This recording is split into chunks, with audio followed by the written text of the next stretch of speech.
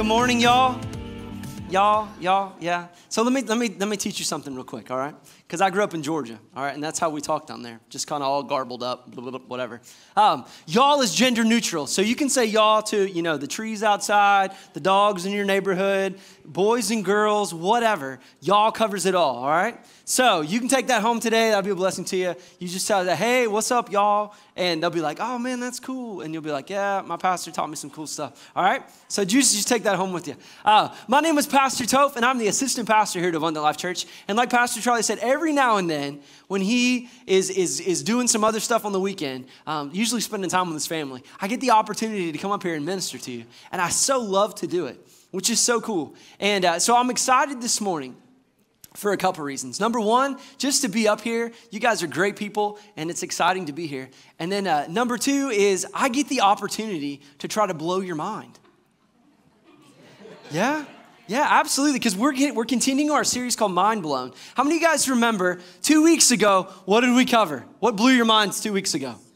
The stars the stars. Man, if you weren't here, we learned about how God wrote the gospel in the stars through the zodiac, which was totally awesome. And if you want more stuff on that, um, either talk to Pastor Charlie or get on the web and look at the sermon or sign up for a CD. We'll, we will bless you for sure. Um, so, what did we cover last week? Oh, you guys did the same thing the last service did.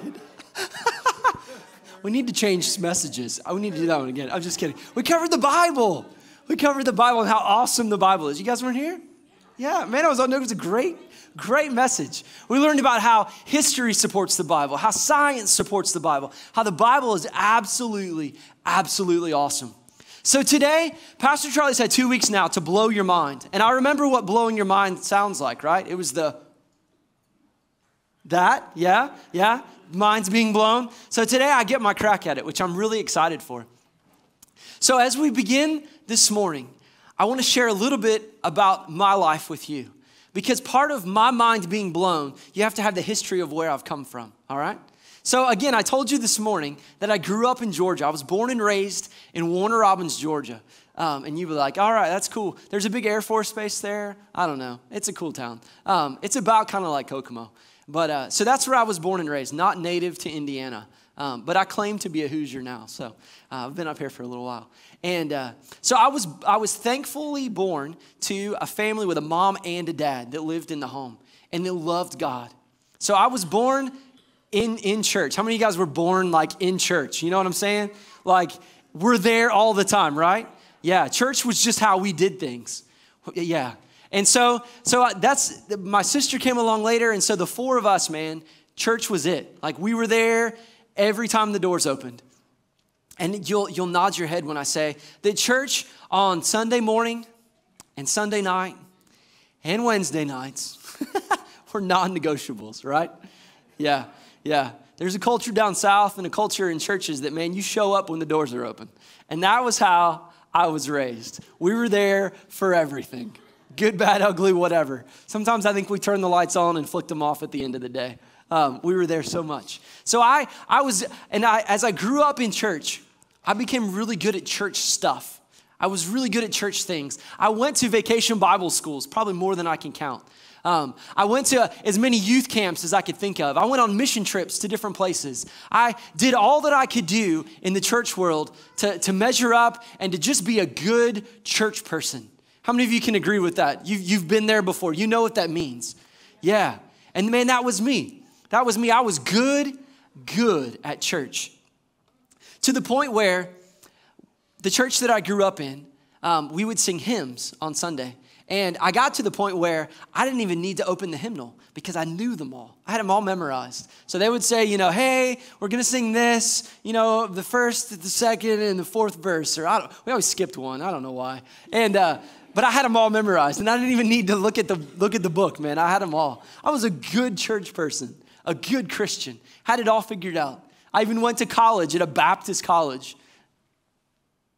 yeah, that's about how exciting it was. Yeah. No, it was cool. It was cool. But I did church well. I did church well.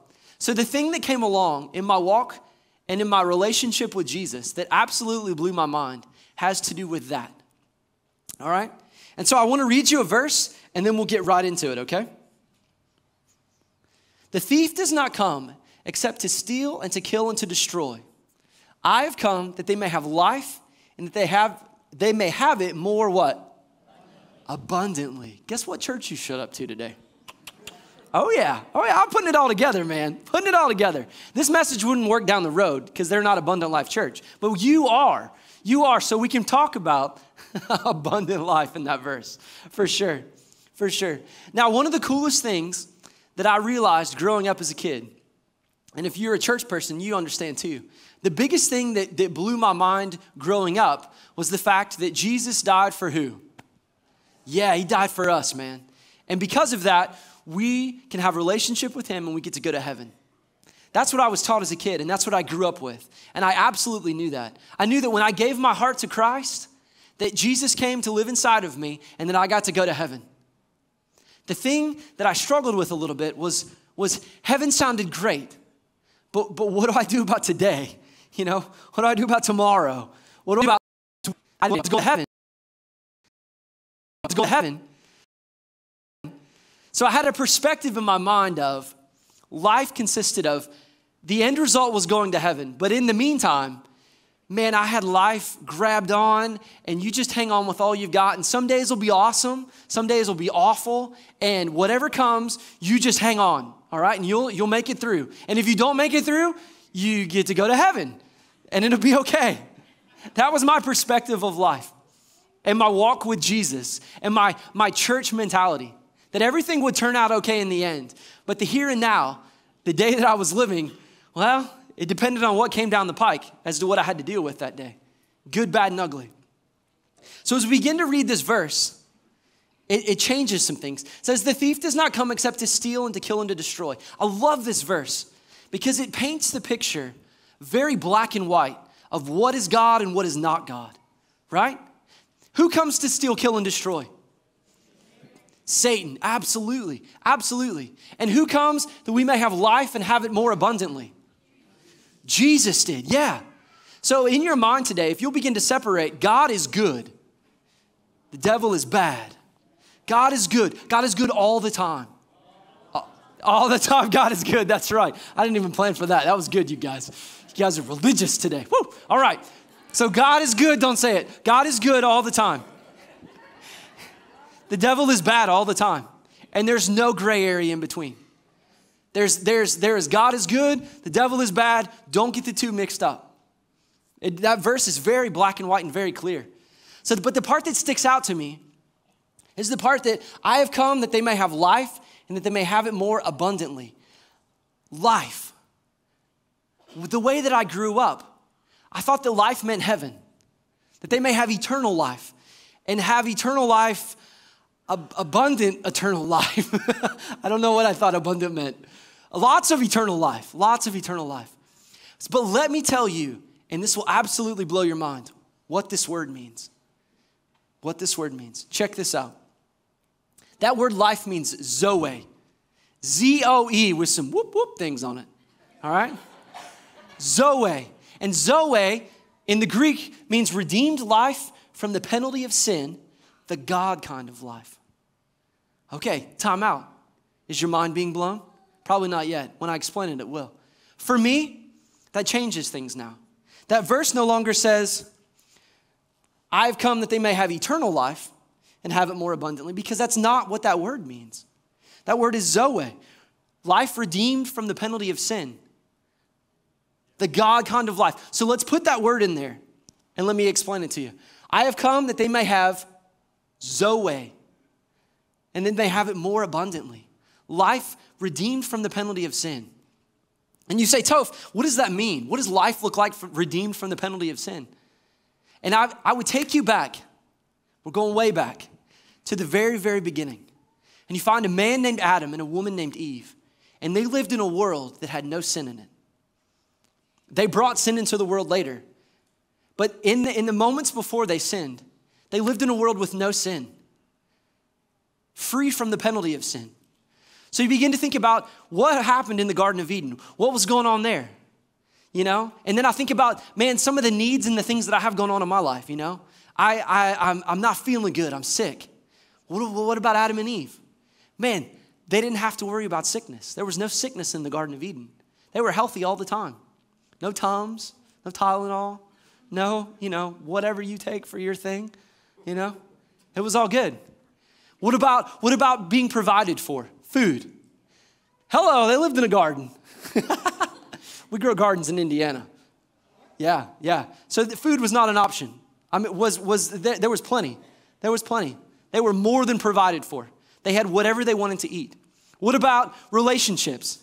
Adam and Eve, man, they never argued over who left the toilet seat up. Come on, come on. Oh, you must not live in my house.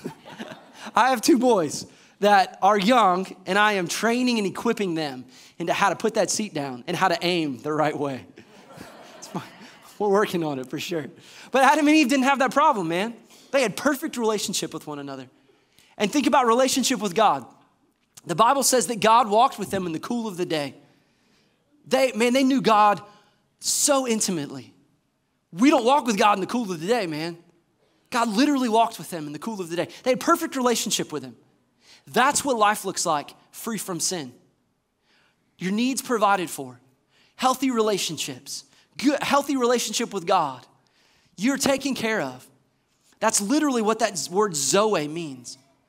And so you say, okay, Toph, that was in that verse, but if it's just in that one verse, like, is it anywhere else in the Bible? Well, I'm so glad that you asked. Romans 6:23. For the wages of sin is death, but the gift of God is what? Eternal in Christ Jesus our Lord. Guess what that word life is? Zoe. Zoe life. That's way more than just heaven. The wages of sin is death, but the gift of God is not just heaven. It is Zoe, abundant life. Life free from the penalty of sin in Christ Jesus our Lord. That gives you a clue at the end of this. Where does, where does Zoe life come from? In Christ Jesus our Lord. Absolutely. Zoe life comes from Jesus. And you can experience Zoe life and, and have more than just your hope being in heaven. Your hope can be in the here and the now as well. So let's let's go into one more verse. And this one, man, everybody knows this one. John 3 16. Yeah. For God so loved the world that he gave his only begotten Son, that whoever believes in him should not perish, but have what?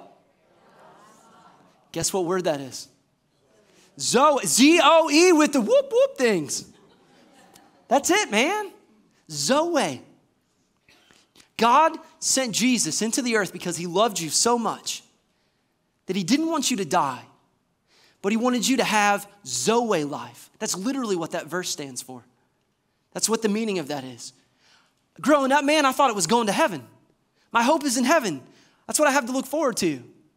But it literally is my hope is in heaven and what God is doing here on the earth in me, here and now. So let's get into this word Zoe because it'll absolutely blow your mind when you grab a hold of it. The word Zoe when it, when it is applied to your life and you begin to understand it, does three things, and it changes three things on the inside of you. So, the first one, if you're taking notes, man, write this down. The first one is purpose. Your purpose. Why you're doing what you're doing. And I think about growing up, the purpose that I had in the way that I was raised in church was to do a bunch of stuff, was to look like a Christian. You know, I loved God. But my motive was to show up, you know, smile, dress nice. The church that I grew up in, man, you had to tuck your shirt in, you know, that was a big deal. Uh, was to, you know, get plugged in somewhere, serve, be a part of the youth ministry, go on mission trips, do all of these things. Do all of these things. That was my purpose. But as I begin to experience Zoe life, my purpose begins to change. Those things are included, but the motivation behind them changes. Man, I hope you hear my heart this morning.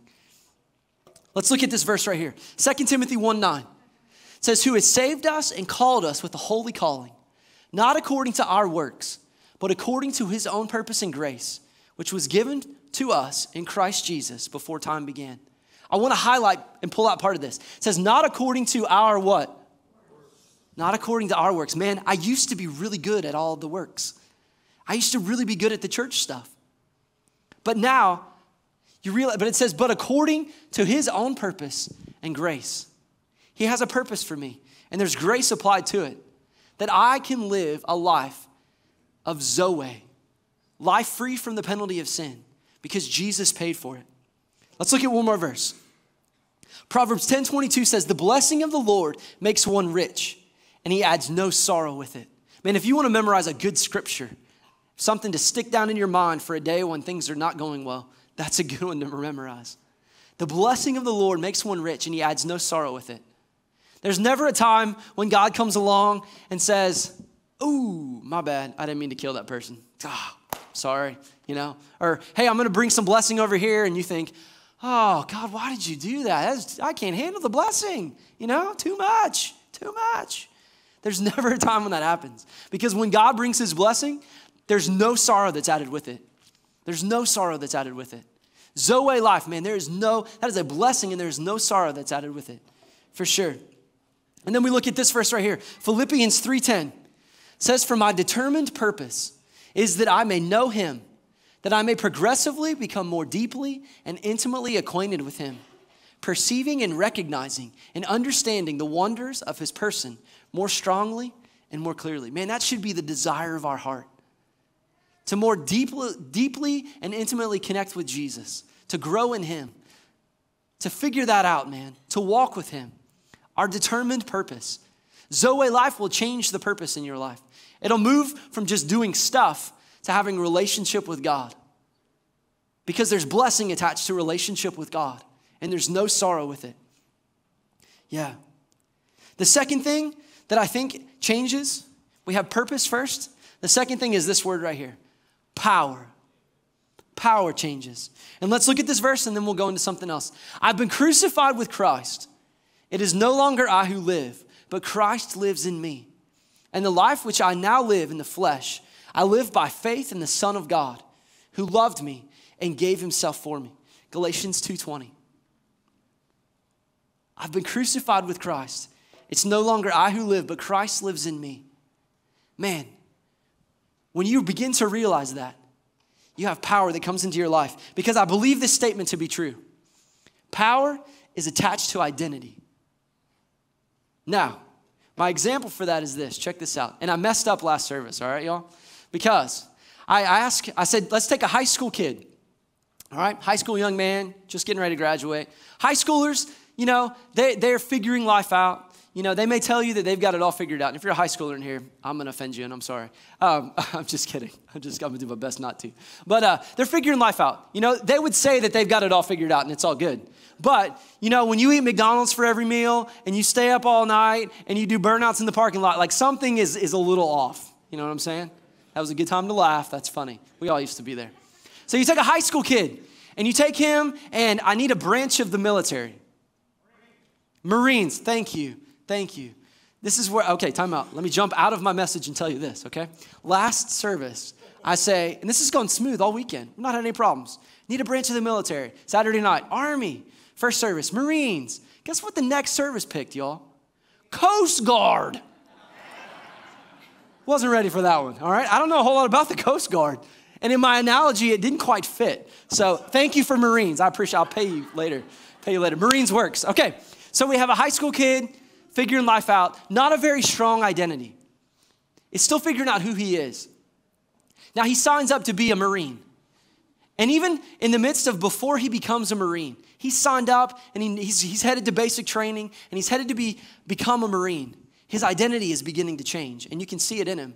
And you talk to him like, hey, who are you? Tell me who you are. And he's like, oh man, I'm, I'm, I'm, this is who I am now, but I'm, I'm going to be a Marine.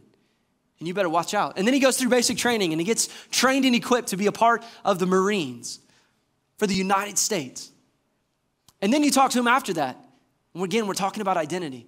And you see a young man whose shoulders are back, you know, and he's got confidence in his face. And you come up to him and you're like, hey, tell me who you are. And he's like, man, I'm a Marine.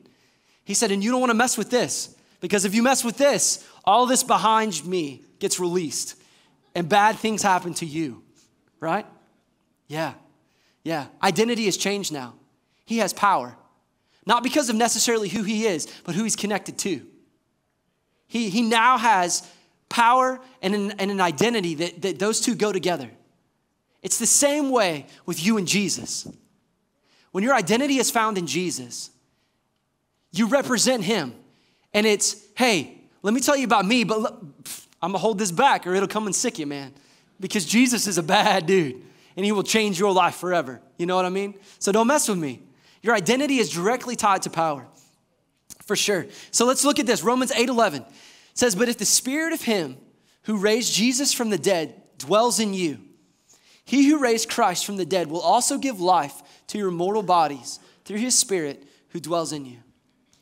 What does that verse mean? Man, the Holy Spirit lives deep down on the inside of you if you believe in, in Christ. And because of that, you now have an identity and you now have power to do things. I didn't know that before. I grew up in, a, in, in, a, in all of my beliefs and all of my thinking where I didn't know that I had power.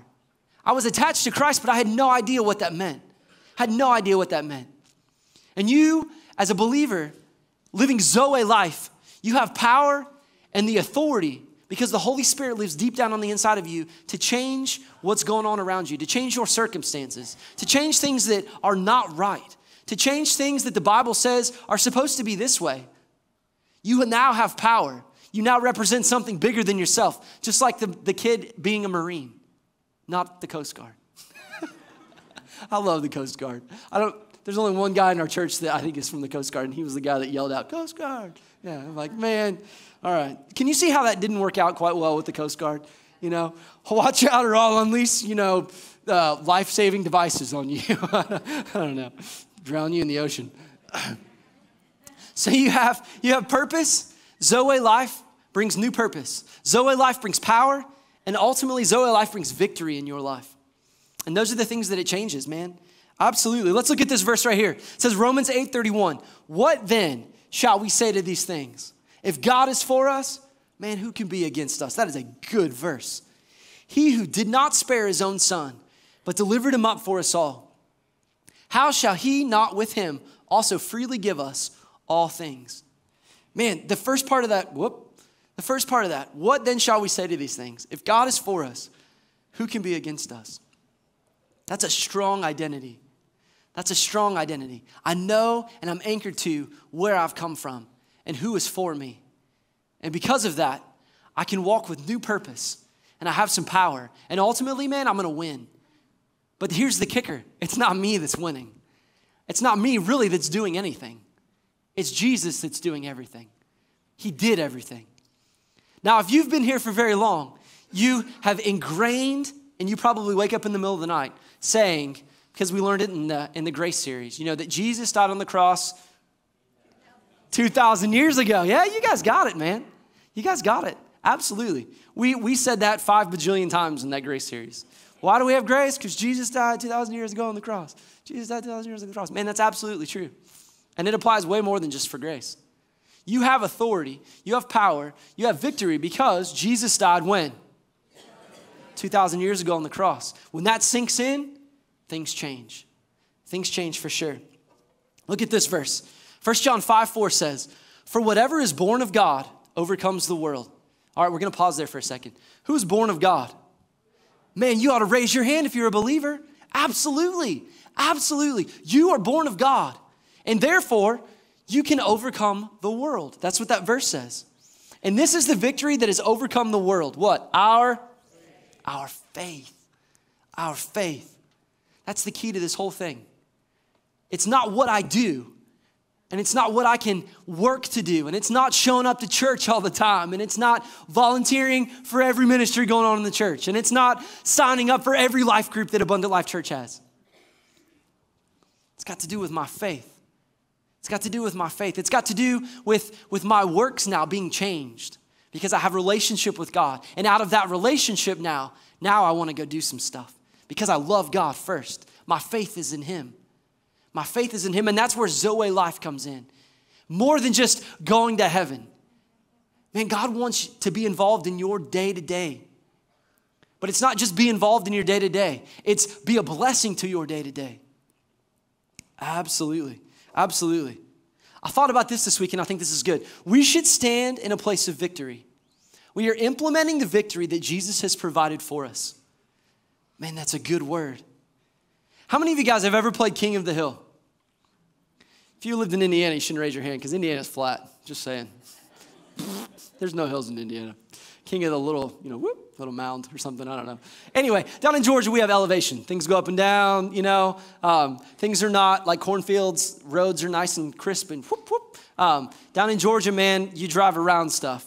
You know, there's no east, west, north, south. It's, hey, turn by the big stump, and then, you know, at that gas station, you know, hang a and whatever, because that's, that's how everything is down there. It's kind of chaotic.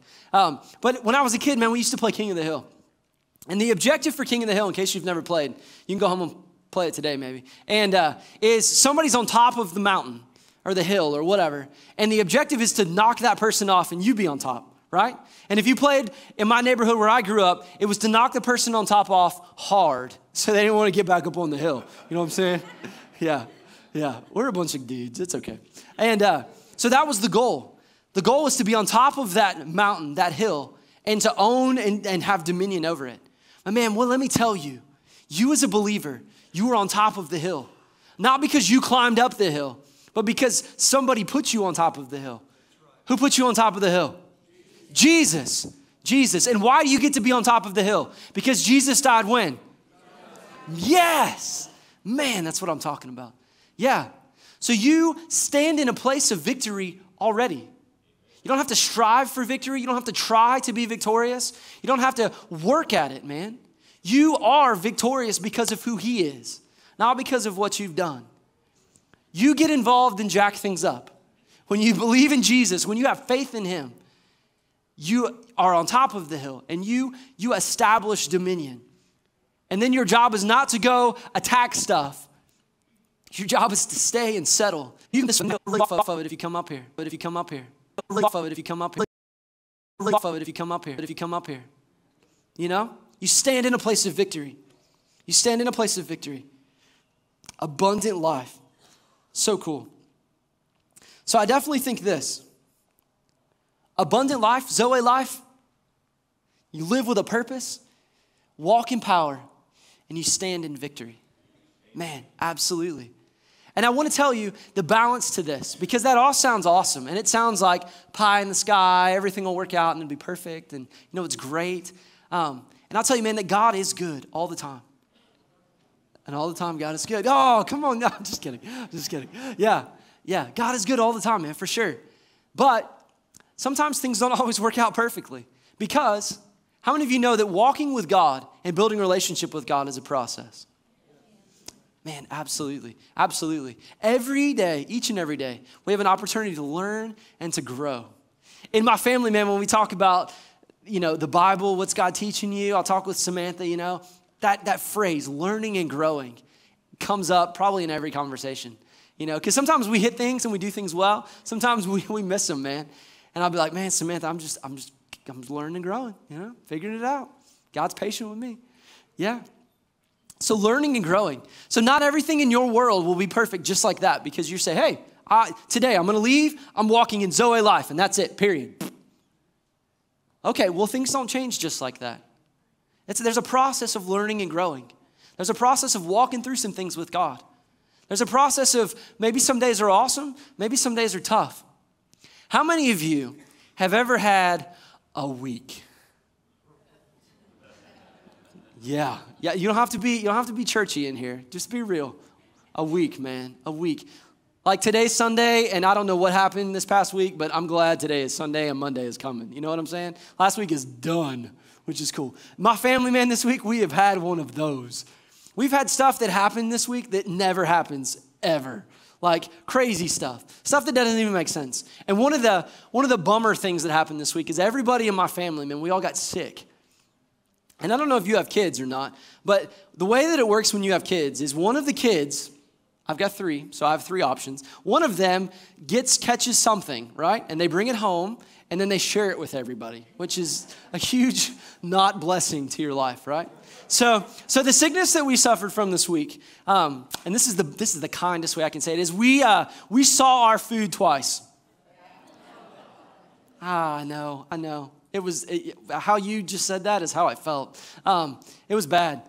So we, we all have went through this week of not feeling good, and, and we've all taken turns. And in fact, my daughter today is the last one in our family that has not felt well. And so she's at home today with my wife and uh, getting better and healing up and all that stuff. So Um, but it was funny this week because we've had all kinds of nutty, crazy things happen like that. Super busy, stressed, not feeling good, all that kind of stuff.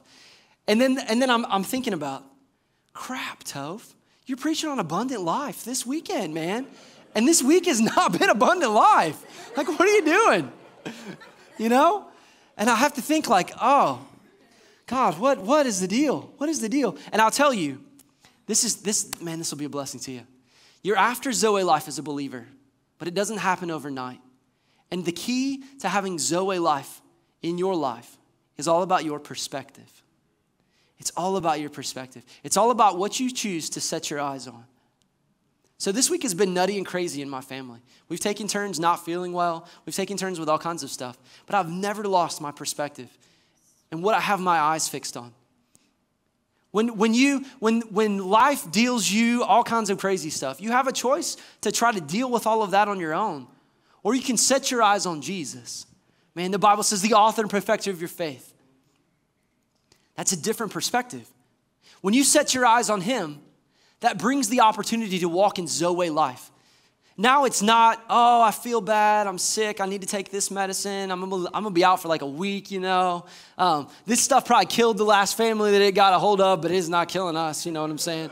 You know, I'm a survivor though. um, it, it's not that, it's, it's man, I may not feel good today, but let me tell you about my tomorrow. Because this word, what I have my focus, what my perspective is on, is absolutely Zoe life. It's absolutely what Jesus paid for. And it's absolutely what I'm going to anchor myself to. So I know that the word says, by his stripes I'm healed. Jesus paid for my healing 2,000 years ago on the cross. That'll come up a lot. 2,000 years ago on the cross. And so that's what I'm going to choose to believe, not I don't feel good. I know that God has healed me already. And I just need to, I need to walk in it, man. I need to keep my perspective locked onto him. And then the things around me change. I get healthy. I get better because I've had the opportunity to put my faith in what Jesus has done. That's when you will truly experience Zoe life. When your perspective, man, is locked in on Jesus. When it's locked in on Jesus and you won't move. I thought about this week to, to have healthy, strong Christians. You know, it takes some faith, it takes some word, and man, it takes some stubbornness. And usually we think of stubbornness as like, oh, that's a bad thing. Man, I, I, I think of the idea of just like an alligator chomping on something, man, and it won't open its jaws and let go. That's what you have to do with the Word of God. You got to chomp down on that thing and not let go of it until you see it produce what it says it'll produce in your life. Yeah. So I want to say two things that are super important to having Zoe life, man. And I think the Bible, the Bible says them, and, and I just think they're awesome. So the first thing for you to have Zoe life, because it would do me, it would do you a huge injustice if I said, hey, you know, Zoe life, awesome. Go, go get it. And you would say, all right. But, but what do I do? Like, what does that look like? You know, I would like Zoe life. I want to I want to I want to walk in Zoe life, life redeemed from the penalty of sin, but man, how do I do that? Well, I think it's encapsulated in two things. Number 1, I think it's loving God with all your heart, soul, mind, strength, everything you've got. And number 2, I think it's loving your neighbor as yourself. Now you'd be like, "Hey, man, Jesus said that." He did. He did. I'm just telling you what he said I'm just telling you what he said. But there are keys inside, inside that thing, man, that'll unlock life for you. Number one, I think it's, it's having healthy relationship with God. And what does that look like? As I grew up in church, my relationship with God was, was pretty structured. And I thought that it needed to look a certain way. I had the idea that I wouldn't bother God with some things, you know? Or I wouldn't, I wouldn't tell God about this because, oh man, he's big and why, why would he care about, you know, my math test? Or why would he care about, you know, that whatever? Um, but having, having a relationship with God starts by you being as real as you can be. God can handle it. I promise you. I promise you he can handle it. So now, relationship with God looks like, to me, it's almost like talking to my wife without the nagging. just, just kidding, just kidding. She's not here. We'll be all right. You guys don't tell her that I said that though, okay? She doesn't nag me that much. Um, somebody said, wow. yeah. I may need a ride home. I don't know. Um, but it's being as real, it's being as real with God as it is me talking to Samantha. You know, I tell Samantha about the good days that I have. Man, Samantha, I can't believe this happened to me. This is awesome. And she's usually like, Toph, calm down. you're, you're too excited, you know? Or it's, it's days where it's just like, man, man, it seems like nothing's going right. This is hard, you know? Those are the same conversations I have with God. God, thank you so much for blessing this. Thank you so much for providing for this. Thank you so much that this happened. Man, God, you are awesome. You're the only one that could do that. Or it's, man, God, this is this is tough. God, I need you to show up in this because I, I can't do this on my own. I need you. I need you to have a real relationship with God, to be as, as gut honest as you can. It's in that that God will minister into your heart, man, and He'll prove Himself faithful, and you will see Him move like He's never moved before. And then it's in relationships with other people. Because the awesome thing about God is what He does on the inside of you can't help but bubble out and spill out, and, and, and you can't catch it all. It leaks out of you. Because you, as you walk with God, look very different than the world. And people are used to seeing how the world runs things, how things work. You know, somebody doesn't feel good, they miss work for a week. Okay? You don't feel good, you miss work for a, a day? A day? Why are you back here? You know, your coworker would say, What's the deal, man? I thought you, I thought you had the, you know, the whatevers. Like, man, no, I didn't feel good yesterday. But uh, man, I absolutely believe that Jesus healed me. And so I'm here today. And I'm walking this thing out, learning and growing. I'm learning and growing. Okay, well, tell me about that, because that's that's different than what I'm used to seeing. Or, you know, everybody around me, man, has these huge needs and they're not making ends meet and they can't pay their bills and things are super tight, but we work the same job and you, you can pay all yours. What's going on? You selling something on the side? Like, what's the deal? You know? What, what's, you got a side job? What, what's going on? Man, let me tell you about how God has provided for me. You'll stand out to people and it gives you awesome opportunities to share. They'll ask the questions. All you need to do is answer. It's not you beating them down with, oh, let me tell you about God. It's, hey, you just watch the way that I live out of authentic, real relationship with Jesus. And then you can come ask me about what's going on because I'm more than happy to share it with you. And it'll bring life to you too. Zoe life. Eternity is in heaven, but God wants to change your here and now. Man, absolutely. I think about the perfect example for this is, is, is, is this story. I think about when um, when, it's, it's, it's, when it snows, and snow, snow is coming, I don't know if you love snow or hate snow, whatever. I'm kind of in the middle. To be honest, and this doesn't make any sense at all, but if it could be like 75 in snow, we game up for that. I don't know how that would work, maybe in heaven, but I don't like the cold, but I'm cool with the snow. Because in Georgia, it never snows. Ne- ne- never. And well, and if it does, people down there like crash into stuff and they're nutty with it. So whatever. So when it's, it's going to snow, two, three, four, five, six months, and we'll probably get a big snow. You know, we usually get a one or two of those sometime. And so it, I've got three kids, man, and we like to play in the snow. It's fun. We have a good time outside for a little while. And uh, so usually what happens is we all get geared up and dressed up and we're ready to go. And the first person out the door is usually me. And as we begin to play in the front yard, I begin to take steps in the front yard with my boots. You know, I'm walking through, making sure I don't fall. And I'm walking through and making a path in the snow, and we're having fun. And then my kids come out of the door, and they have two choices. They have number one, they can walk in the steps that I walked in, or number two is they can just just plow it through, man. Go for it. And usually they take number two and they run and they they they get snow in places that it's bad to get snow and they're cold and they but we have a good time.